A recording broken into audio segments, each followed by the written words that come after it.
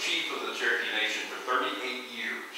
So he's the same guy interacting with Andrew Jackson and with Abraham Lincoln. My connection to Prescott is through this guy.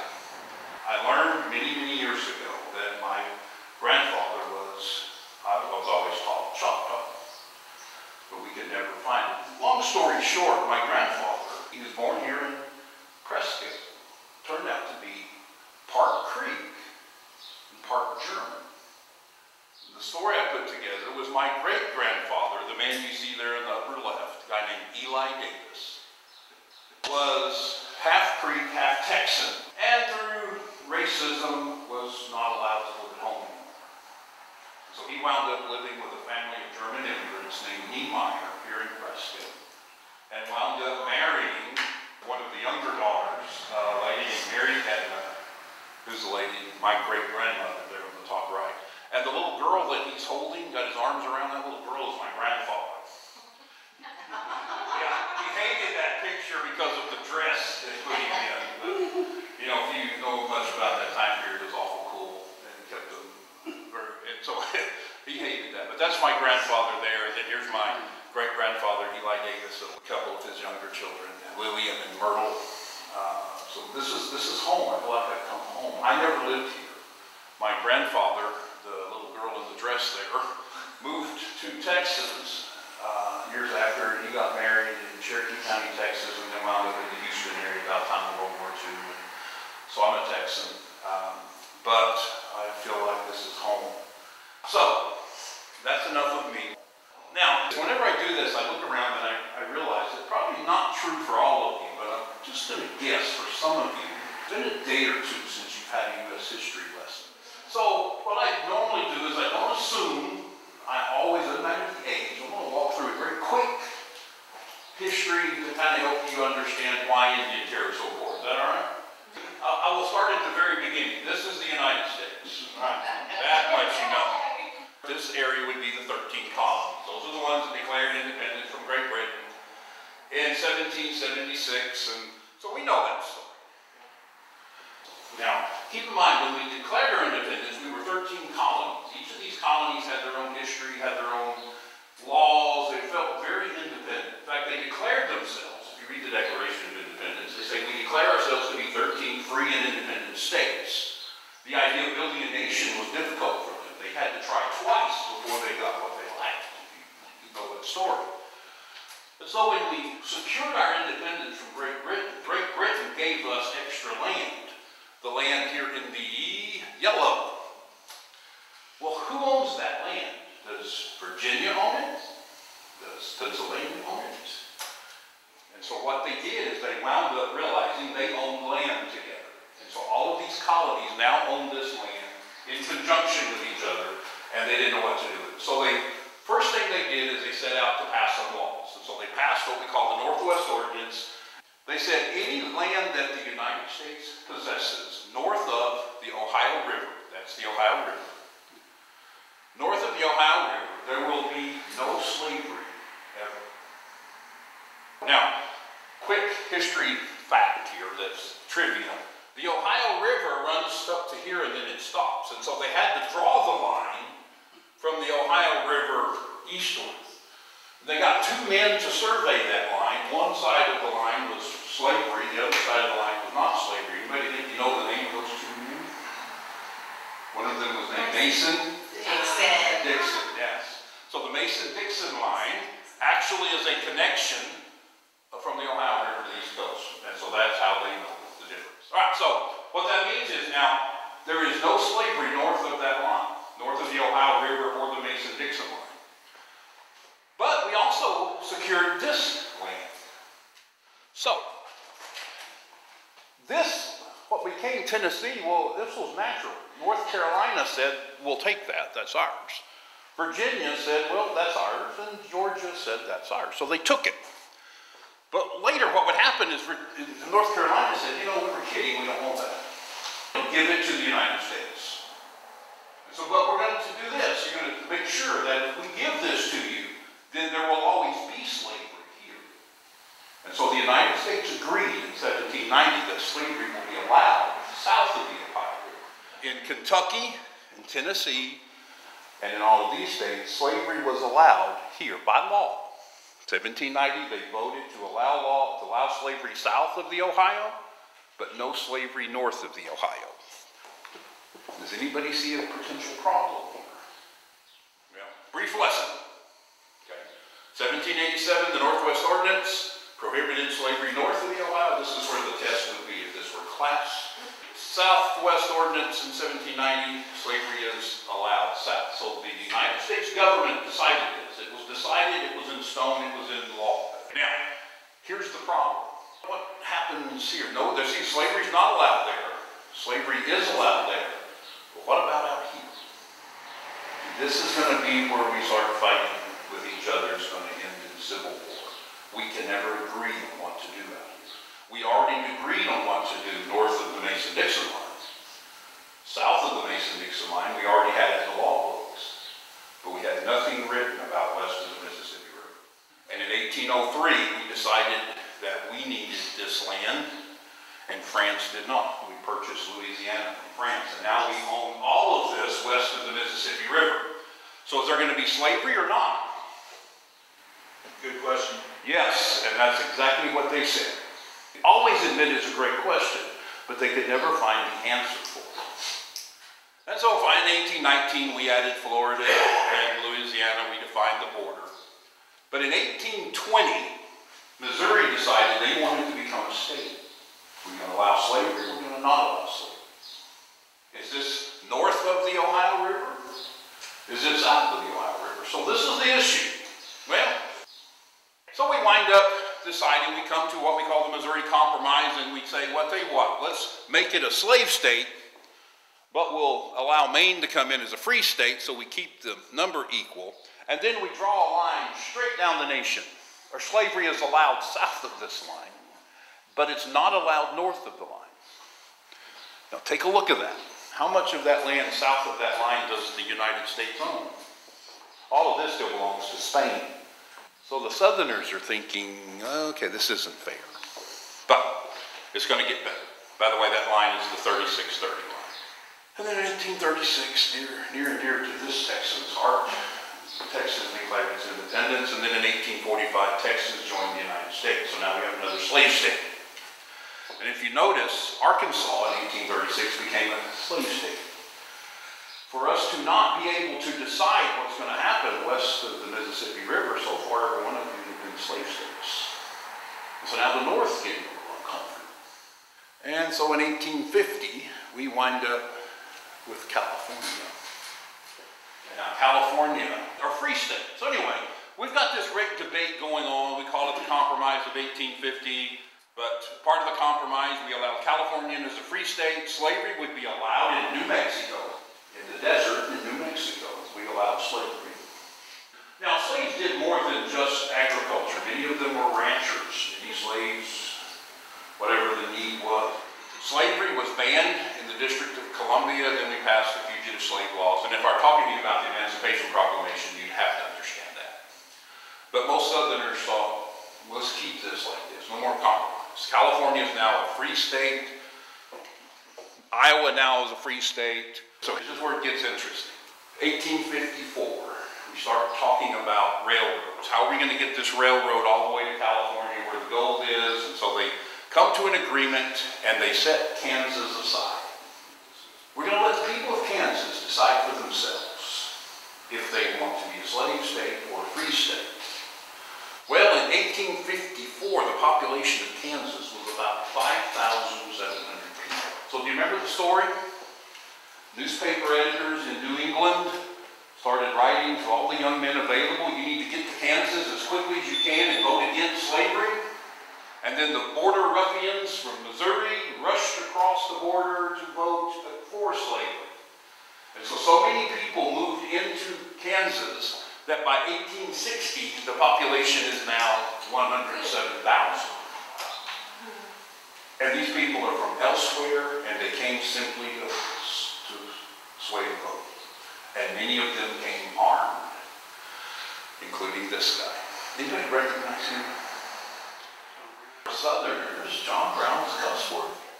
Who John Brown came from Connecticut into Kansas, killed some people in Kansas, and then wound up in Virginia, Harper's Ferry, Virginia, where he seized the arsenal, was going to use it to give the guns to the area slaves and allow them to shoot their way to freedom. So Southerners did not trust anyone who was an abolitionist from Kansas. In fact, they quickly took a name. Anybody know what we call the abolitionists from Kansas? Jayhawkers. So, here's Texas. Here's Kansas. Notice what's right in the middle.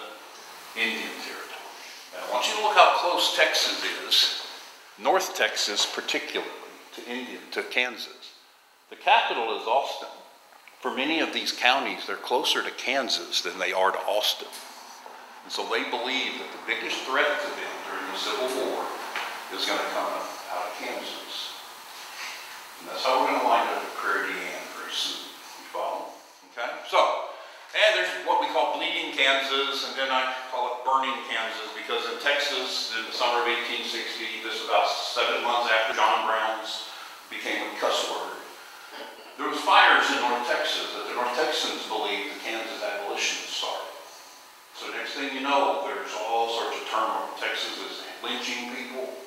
North Texans are ready to go to war. When the Civil War starts, North Texans cannot wait to make sure that they occupy Indian territory. Because if not, the Kansans are going to have just a straight shot right into North Texas, and they're going to do to us what they tried to do to the people in Virginia. A long road to get here. Do you understand kind of why Indian territory is so important to the people of North Texas?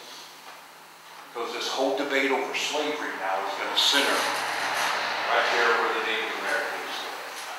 So that's how I wound up here. I kept reading this story from the perspective of the Confederates. And then I would read history books and talk about the perspective of the other white people. But I never heard anybody that seemed to agree with what the Cherokees were doing. So I wanted to make sure that I told that story. So that's what the book is, is the Cherokee Nation's perspective on what's going on at this time. It's a pretty fascinating story.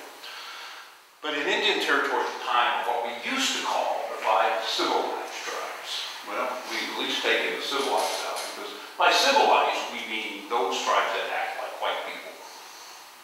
That's how we define that. So these are now the five tribes, or the five southern tribes. But each of these tribes had treaties with the United States. So the United States decided the Native Americans didn't need any part of this war, so they went home.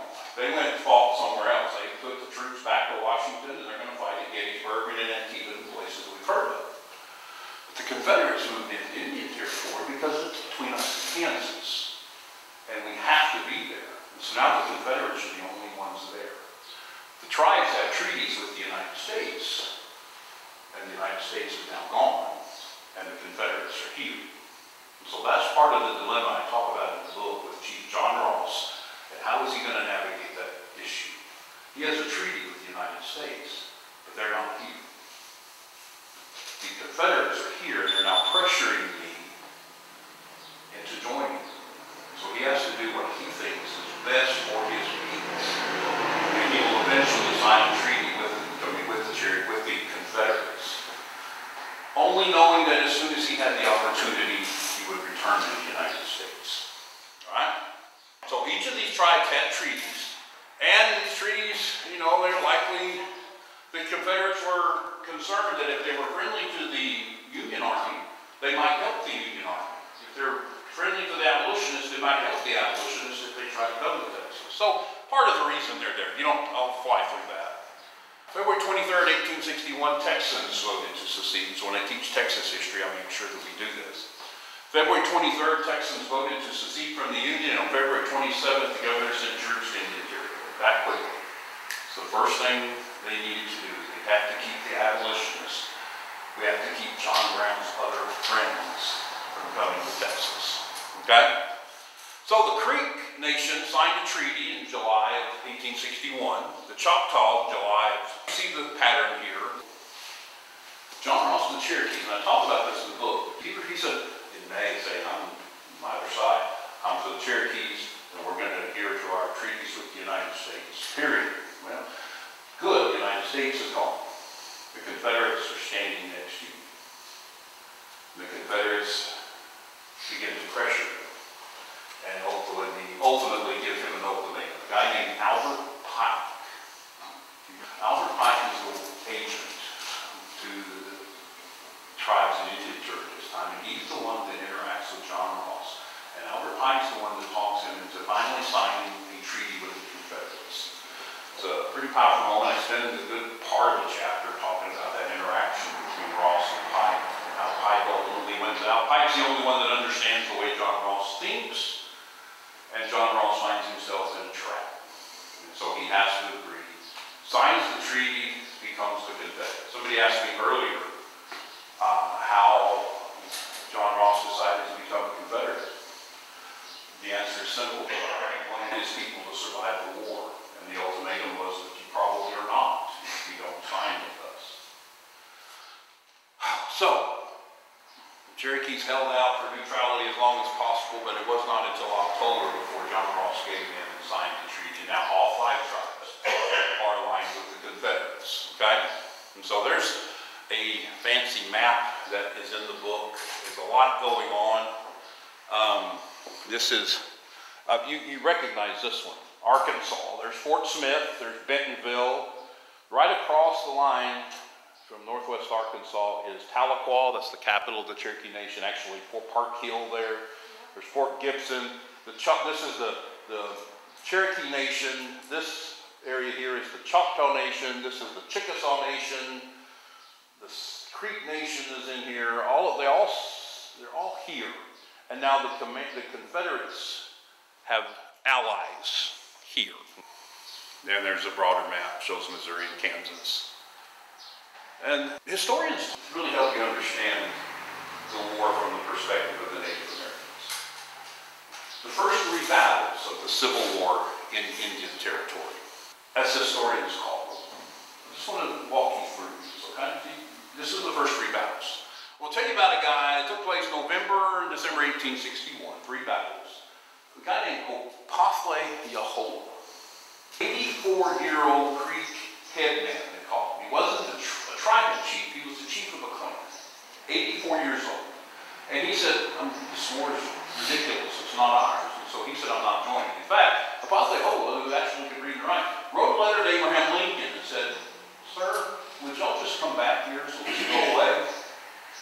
And Abraham Lincoln wrote him a letter back and said, this war is not yours. So we understand that if you just stay out. Just let us do our thing, you just stay out.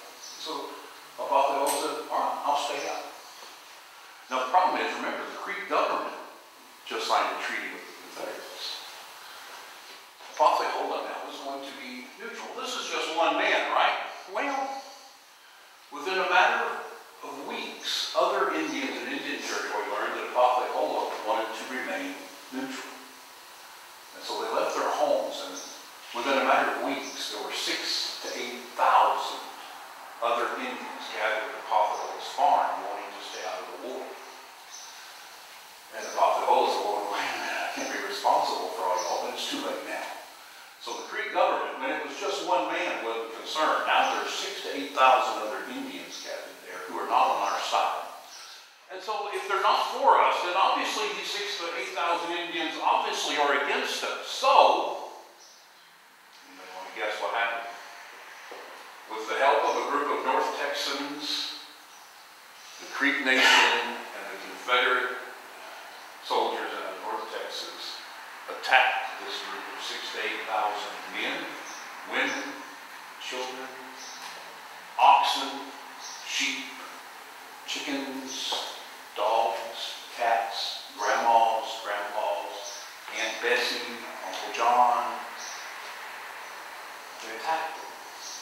first one in November. Well, this group panicked, and they left in such a hurry, they left their blankets. Many of them left their extra clothes.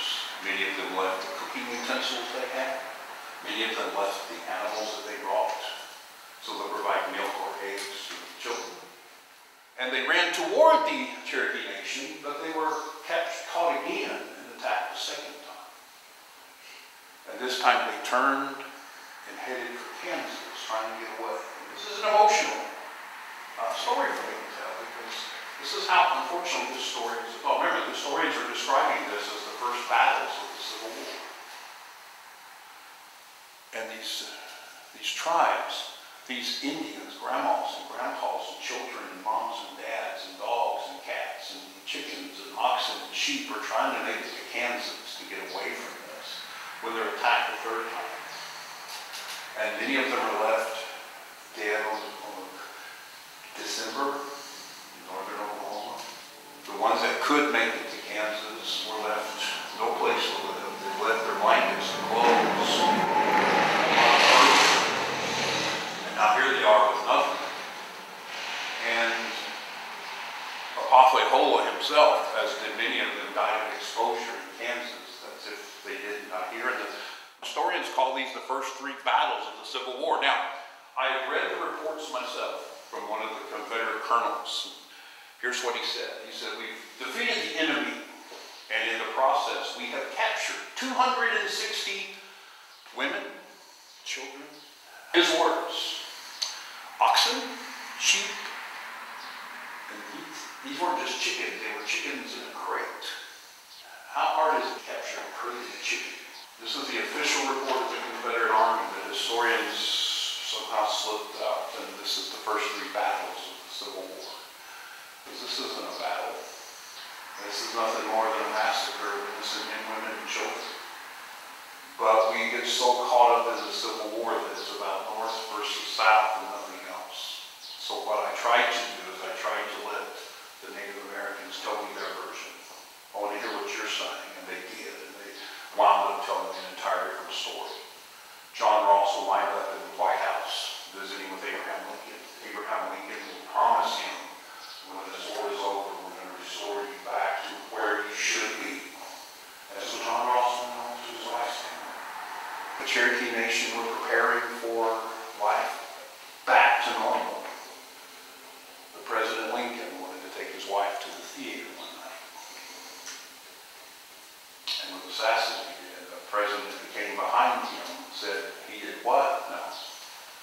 You signed the treaty with the Confederacy. You were traitors. And within 30 years, we'll have the state of Oklahoma sitting on top of Cherokee land. Long story, I've shortened that into a a horrible, it's a horrible account. It's a horrible part of our history. And you can read about that through the book and, and tell how we get from Albert Pike visiting with John Ross, how we get to the state of Oklahoma. And it's, a- it's a heartbreaking story. Now, that, that's, that's kind of direction of the book. I want to stop and I want to talk now. I want to be the historian. I want to step back and go back to the perspective of the North Texans. And the North Texans were worried about this invasion. They thought the, the, the Union Army was going to come out of Kansas. Just natural. We're very close. Indian territory is basically, by this point, empty. I mean, it's a, it's a wasteland because of the war. The Indians are fighting with each other. It's, so they're waiting for the, the invasion. Is it going to come through the Gulf Coast? Is it going to come through Indian territory? How's it going to get here? Where's it going to come from? Well, we finally learn in the spring, about March of 1864, that the invasion of Texas is coming. And do you know where, of course you know where it came from. We're right now currently in the path of that invasion.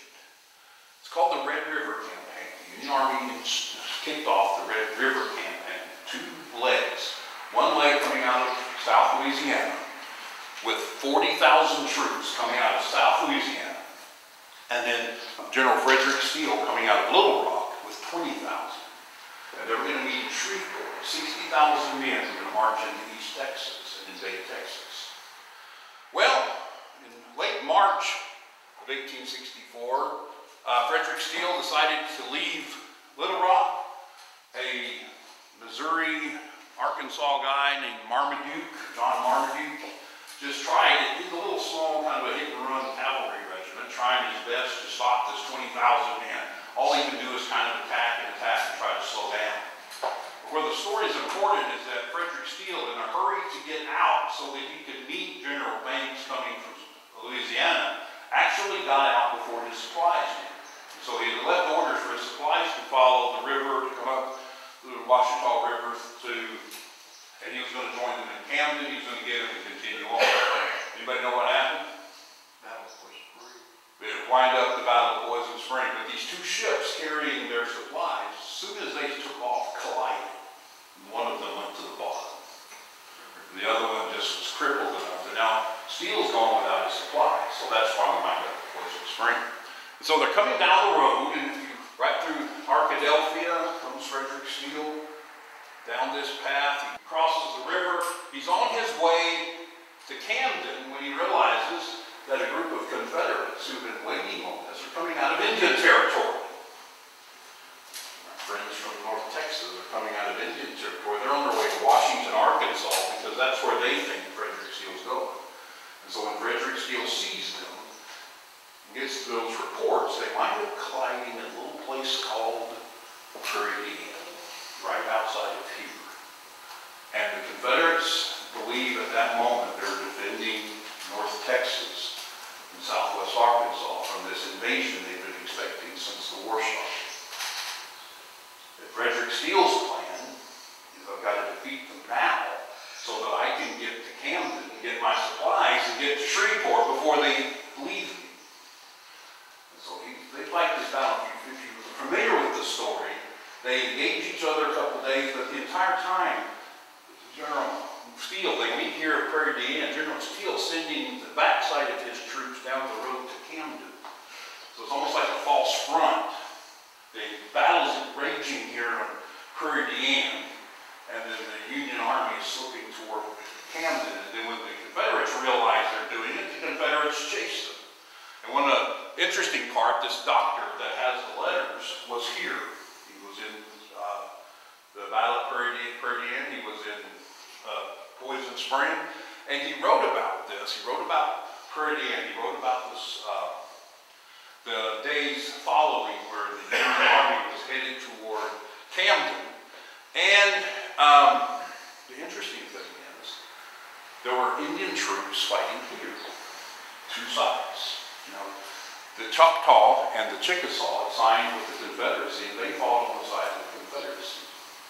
But there was one particular unit who was also here, that one day will become a book. Uh, It's a good thing I'm a young man, because I got so many things to write. This is one I'm going to write. It's about a Cherokee regiment that during the Civil War actually fought on both sides. Fought for the Confederates, and then as a regiment with the same leaders, the same officers, just went into the Union camp, and everybody's waiting for them. The Union Army saw them, good, they're here. Next thing you know, they're Union soldiers, and they're marching back into Indian territory. It was a fascinating story. They, they, that the Union came to, rushed into southwest Arkansas to help the invasion. They wound up at Prairie D'Ane just about time the battle started. Uh, you ever heard the name Richard Montgomery Gano? He was a Confederate general, one of the Confederate generals here, that on the way from here to Camden was wounded. I wrote out the letter from the doctor who treated him, and said he was shot by a Cherokee Indian. Fascinating part of the story. There are Indians involved here, but um, that Cherokee, it- this is the only regiment, I, I think, I, I, the only one I know of, I think it's the only one, well, in most people don't know what happened, but it's the only, only unit, as a unit, who actually served on both sides during the war. And they fought here at Prairie D'Ane in April of 1864. Wound up going to Camden, where he learned his supplies were now sitting at the bottom of the river. So that's when he learned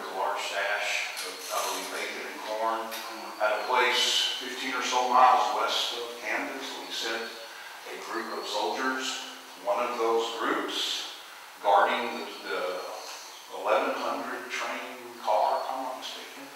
One of those regiments guarding them was the 1st Kansas Colored Infantry, which is absolutely, I know there's stories out there about the 54th Massachusetts.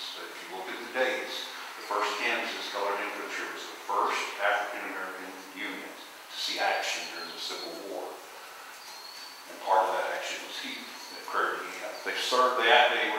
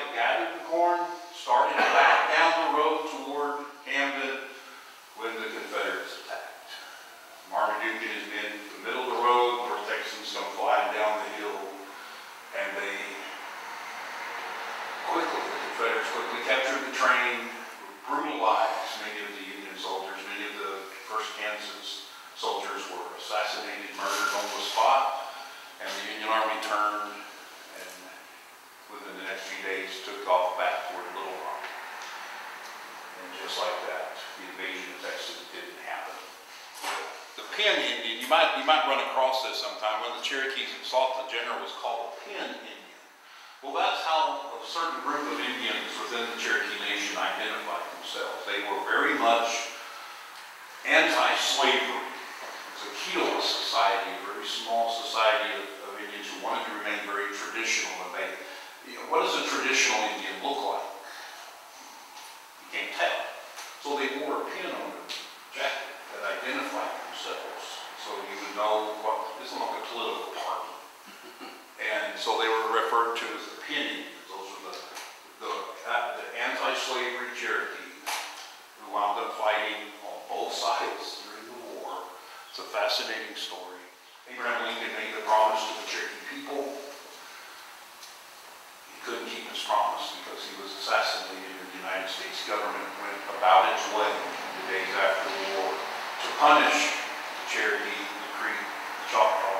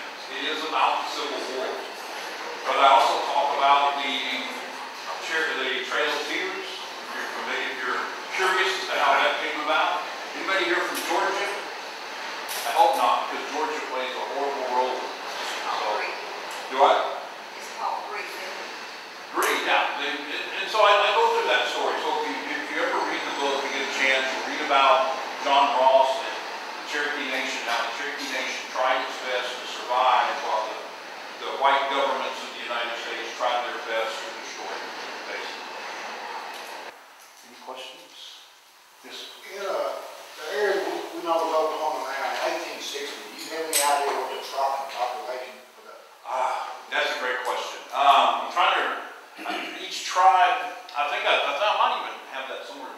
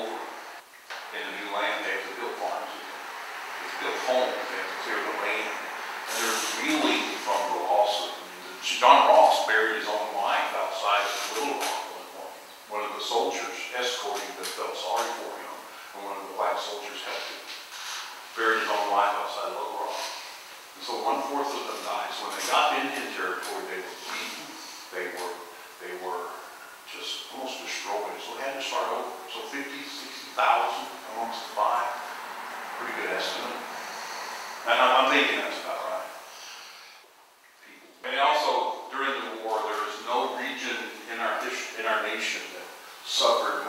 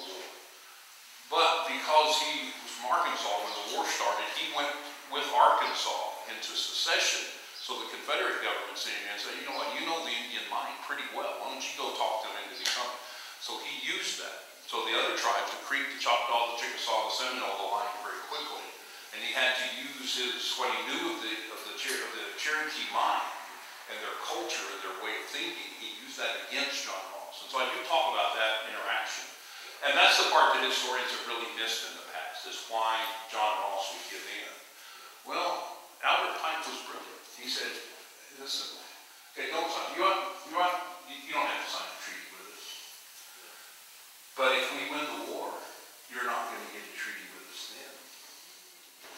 Does anybody know who won the first two battles of the Civil War at Bull Run in Virginia, and then at Wilson's Creek in Missouri? Who won the first two battles? Confederates. So now John Ross, knowing that ultimatum is out there, the Confederates win the first two battles. So now Albert Pike, okay, now, if you don't sign the treaty now, not going to get one later. Brilliant, he knew the Cherokee line, and he knew how to handle it. Yeah. And so John Ross gave in and signed, because the last thing he wanted to do was be the only tribe, non-Confederate left. Arkansas was now Confederate. It looked like Missouri was going to be Confederate because of the battle. The Creeks were Confederate, the Choctaws were Confederate, the Chickasaws were Confederate, the Seminoles were Confederate, and here's us. And so he realized at that point, he'd better sign. yeah. And Albert Pike, Albert Pike was, he was, he was crafty, he knew what to do.